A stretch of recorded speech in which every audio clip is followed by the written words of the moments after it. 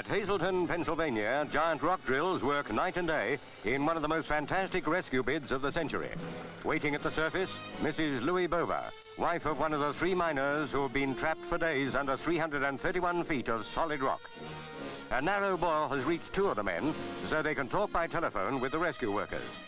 They're weak with hunger and thirst, and something can be done about that too. But there's still no communication with Louis Bova, cut off from the other two by the same rockfall that trapped them all.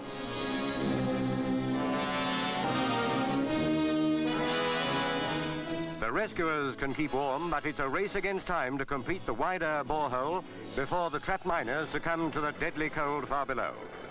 At last, the rescue harness can be lowered, and the tense crowd sees the first man brought up, 28-year-old Hank Throne, safe at last after 14 days in what might have been his tomb.